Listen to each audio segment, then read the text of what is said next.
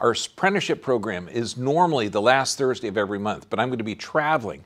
I'm going to be teaching and working in Thailand the last couple of weeks of November. So November 10th is our apprenticeship program. November 10th, mark that on the calendars. High noon Pacific Standard Time, and we're going to be there um, going over digestion, not just um, what foods are good for you, but how your body literally breaks the proteins to amino acids, fats to fatty acids, and carbohydrates to usable sugars. So this is going to be fantastic.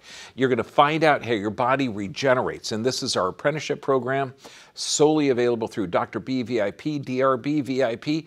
I'll see you there, and this is going to be a blast.